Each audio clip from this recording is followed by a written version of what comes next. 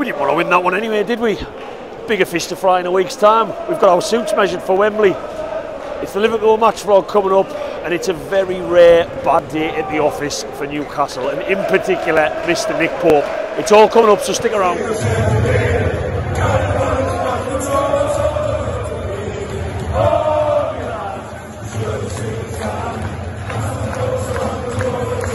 Welcome back to Black and White Banter, you lovely, lovely Newcastle fans. Um, been a bit busy lately, so not many videos coming out. Didn't even get time to do a match preview, but here we are. Just bounced out the shower, despite it being a bit wet and a bit gl gloomy outside. Just about to head over to St James's Park now. Liverpool. It's a funny one, this, isn't it? I didn't get a chance to say on the match preview. Yes, we want a result. Yes, it's a big game, normally a huge game, Liverpool at home, but we all thinking about next week. And I don't care what anyone says, every fan in that stadium, win, lose or draw tonight, will be frustrated if we lose, especially after the run we're on. And the fact it's the only team that's, that's beat us, which is crazy, by the way. If anyone needs a reality check, we are coming up against the only team in February who's beaten us this season. So that's that's revenge for the only team that we can get revenge on. But generally speaking, we all thinking about Wembley, aren't we? We all thinking about Wembley next week. I certainly am already thinking about getting on that train first thing next Saturday morning, but it would be great to go into a win. We, we desperately need one, to be honest. A lot of people pushing for this Champions League football are very much talking about the gap that we can increase on Liverpool by winning this today. I think it's 12 points, so fingers crossed we can put on a better performance than Bournemouth that was poor. But hey, let's enjoy tonight under the lights. Sad news about Christian Atsu today, really, really sad. That was really awful to hear. Um, caught me off guard. Same age as me, so to really, really awful. So thoughts definitely go out to him and his family. I'm sure there'll be a tribute tonight. Tragic, tragic news. Um, Sir Bobby Robson, it's his 90th birthday today. The man, the legend that is Sir Bobby. There's going to be a Wor Flags display, so I cannot wait to get over to see that. But without further ado, let's get to St James's Park. Just landed in Newcastle. Team news is out. Elliot Anderson, the Geordie Maradona, is in. I didn't expect that. I really, really didn't. I know we've had injuries. I didn't get a chance to talk about it on the preview. He's probably had his hands tied a little bit with week, next weekend in mind. But Elliot Anderson, I wanted him out on loan in the Championship at the start of the year, and he's done very little since, very little game time, but he's looked a little bit fish out of water when he's actually played minutes for us. This is a huge opportunity for him. And I think if looking at the rest of the team, if we are going to get anything today compared to previous weeks, we need to be a bit better in the final third. Almiron needs to offer a bit more. Just generally speaking, we need to offer a little bit more in final thirds. And Allan St Maximin keeps getting a chance on the wing. He's got Gordon breaking, breathing down his neck. Hopefully, he can do a little bit more. So let's see. Let's get up to St James's Park. Away, Eddie Howe's Wembley Mags. Let's get it out there.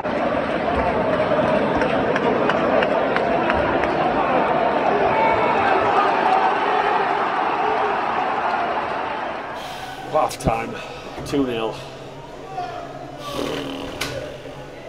that was pretty bad um, strange first half really strange I, th I, think there's there's been a performance and a result maybe like this bubbling for a while um, you know looking back to West Ham Bournemouth pretty poor going forward a little bit lacklustre defensively obviously Nick Pope it's all I need to talk about half time Nick Pope absolutely devastated. More devastated for him. I feel sick for him. He comes and gets that ball 90% of the time and it's fine.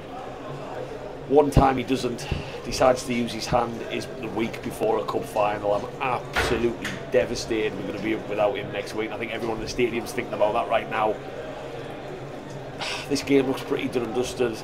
We started absolutely fantastic. First 10 15 minutes, we proper came out the traps. We were going all guns blazing that, that's the intensity that we haven't had for a while. And then they have two sucker punches, poor defending for us for both goals. Then Nick Pope does what he does, and it's just we all start looking at each other bewildered because we aren't used to seeing this anymore. This is Newcastle of old, so very flat. Don't really know what we can get out of that second half. St Maximin's had a couple of half. He's, he's actually looked okay holding the line now by himself. Even harder job for him let's just see what we do in the second half. Maybe get a bit of luck. You need a bit of luck to come back when you've got 10 men like this. Fingers crossed we can pull something out of the bag. I think I need a pint. That was difficult.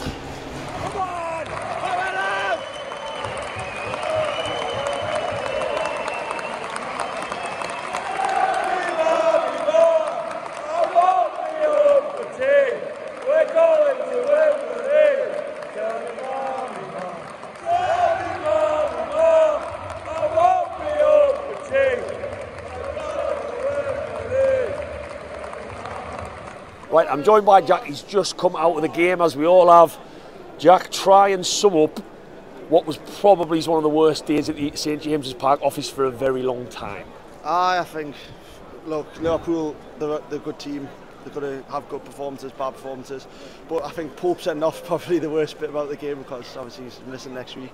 I don't know. I've heard maybe Karius is injured or whatever, so we don't know who's going to start next week. And then I think I think we're actually all right in terms of with 10 men, but just it was gone at that point, wasn't it? We needed half chance to sneak in to have a chance, but I pretty poor day at the office. And with regards to Nick Pope, I feel sick for him. Don't even want to know what he's going through right now. What was he thinking? I, I mean, I was the same. I think 2 0, you've got to let it go, but then I, my dad probably said, probably summed it right. If you miss it with your head, it's your natural instinct to try and make up for it and just stop it with your arms. Instinct, instinct. I think that's probably. So, do you think there's a bit of a hangover from, sorry, not a hangover, going into the Wembley game? Do you think that's had a bit of effect in the last couple of weeks or not? Uh, I think we've looked, I mean, look, we've set high, really high standards, haven't we? And I mean, the pressing's been dead shot. I think we've lacked a little bit of sharpness last last few weeks since the World Cup, really. I mean, we turned Leicester over, but then after that, we haven't really had a, a great performance where we've been sharp. We've had chances, look, we could have won. We could be had another three wins, but I think we've just lacked a little bit. It's hard to keep that intensity up the full season. I think. I think that's where we're struggling. Depth. We've got no depth really. And I'm just joined by Chris as well. He's just come out with that, soaking in what, sorry, taking in what was probably one of the worst days at the office in recent times in St James's Park. What went wrong today?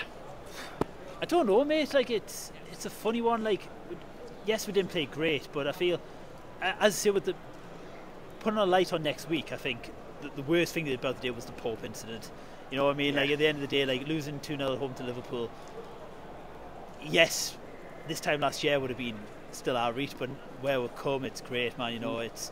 But you know, uh, I think that's the, that's the main downside today. You know what I mean? It's it's losing Pope for the final. I think that's that's the thing that's leaving. I mean, I'm thinking about it coming out the stadium. I felt sick for him at the time. Not just not the fact we're missing him, but the fact that what he must be going yeah, through. No, no, Christ, I don't. I say I don't want to know what he's feeling. He's been so good for the season. Like, like look, as I say, I think I don't know what's going to happen next weekend. I think we've got Bruno back. Mm-hmm. You know, it's good, and uh, hopefully Willock and Wilson will be fit, and it'll be. It's going to the the outfield ten will look probably a bit stronger but again, it's just Pope at the back. It's going to be funny. But like, uh, like today, I'm not really. I say I don't go to a lot of matches if I'm honest. Like, right. uh, but uh, like yes, so like it was a disappointing result. I think second half we played our reach, we kept them at bay. But I think yeah, no, it was a it was a poor defender for the first two goals. Right, I'm just joined by Josh, who is struggling at the moment, so he's taking his time out to speak to us on his crutches. So fair play. Still here. um, Poor day at the office today, very disappointing. Um, obviously, with Nick Pope in mind as well. What do you think went wrong today? I, I don't think it was anything down to you know a tactical thing, a tactical decision from Howe. I think we came out the traps pretty good in the first five minutes, and then it felt like we just couldn't deal with the pressure. You know, Liverpool quiet in the crowd um, after ten minutes or so I just, like you said it before, I think it was just a bad day at the office. Mm-hmm. Um, Actually, I, I, said to the lad next to me, I feel like a, result like this has been bubbling for a while. You know, with the Bournemouth game, the West Ham game. There's a few draws, do you know yeah, what I mean? And, and yeah. I think we said before the match, uh, me and the lad, that it was if we come out with a loss, it's fine because it's on everyone's mind is the final is, next week. It is. I mean, obviously Eddie Howney's press conference said next game, which he has to say that. But I, I listened to that and I thought, no way. There's no way the Longstaffs and the Burns are not thinking about next week. Well, exactly. I mean, it's on. It, it, doesn't even matter if you're from Newcastle. It'll be on Trippier's mind. It'll be on Joelinton's exactly. mind, and it's just. I, I, feel like that was probably the the deciding factor. Um, and once you go two goals down, it's always a trek back yeah. from then. I, I don't blame Pope. I think it was a silly decision. I think it was instinct. It was. It was. Second half, no complaints. Mm-hmm. Obviously, Liverpool sit back, um, soak up the pressure. Mm. we had a couple of chances. Oh, Callum, but Callum Wilson in the second know, half. that Callum left foot, and you just lifted over the keeper. But do you know what? I'm happy. I've yeah. come away from this game. You're getting your suit measured. I'm getting my suit measured. Obviously, I'm going. He's not because he can't get the time off work. But you Might know be what? difficult for you to, for you to uh, get your suit measured. I know. Well. Right, I'm not used to doing these. probably is the worst game. I say the worst game. It wasn't actually the worst performance at St James's Park in sort of the last year, which is a mental thing to say in itself. First defeat since August, which again we always need perspective. We are allowed to criticise performances, which is becoming a new thing in the Newcastle fan world now. Because of how far we've come, you aren't allowed to say any player's bad. You're not allowed to say anything apparently on social media at the moment. It wasn't the worst performance. I thought we started today absolutely fantastic. Liverpool couldn't handle us. Almiron has to score. If that goes in, it's a different start to that first half. And we just came out the traps faster than I've seen the last three, four, five matches. So Eddie Howe's got into them, I think, after that Bournemouth match last week. And then from there, I don't really know what's happened. Um, a couple of goals has been bubbling for a while. Maybe a couple of lapses in concentration has been bubbling for a while. We don't have the squad rotation of the other teams in that top four, top five. It's the same team week in, week out. And I haven't watched the goals back yet. I've heard that maybe Trippier and Schär have stood still for a couple of them. They looked a little bit too straightforward to me.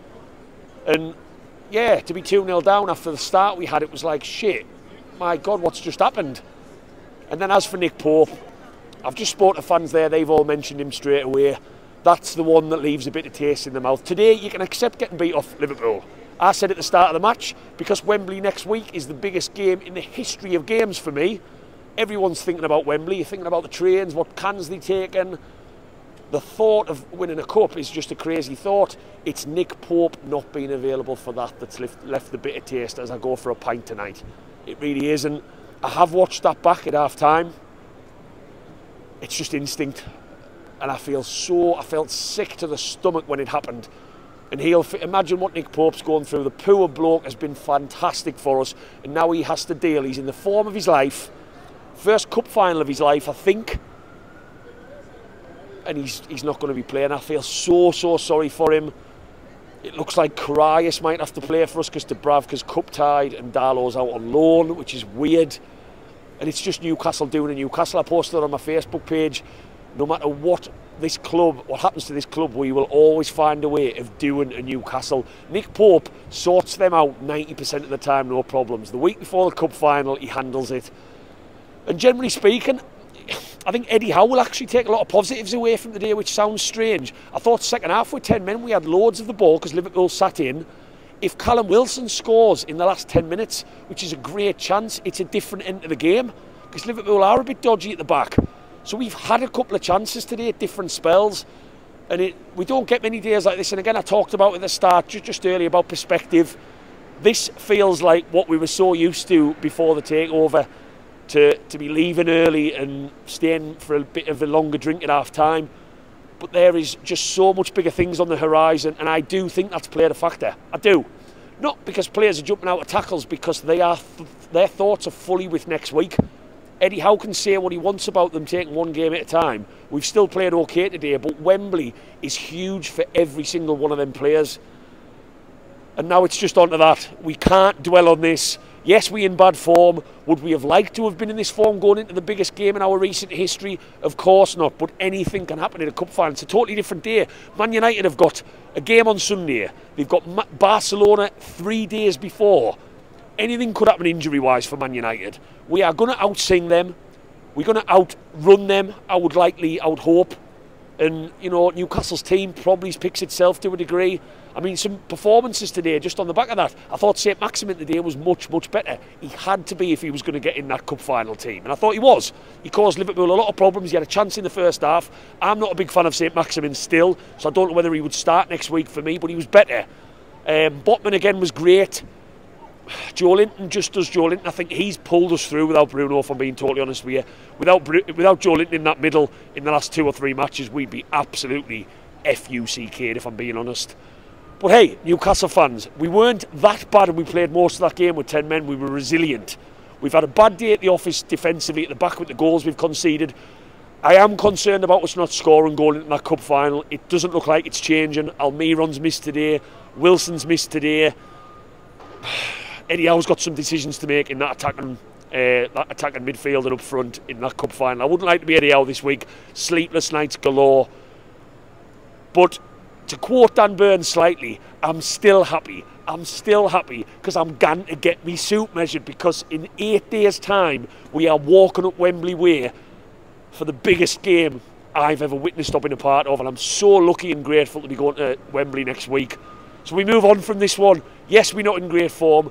We've lost our first game of the year at St James's Park, and Liverpool are just our bogey team this season. First defeat since August, Newcastle fans. So we do take it with a pinch of salt because that is a ridiculous stat.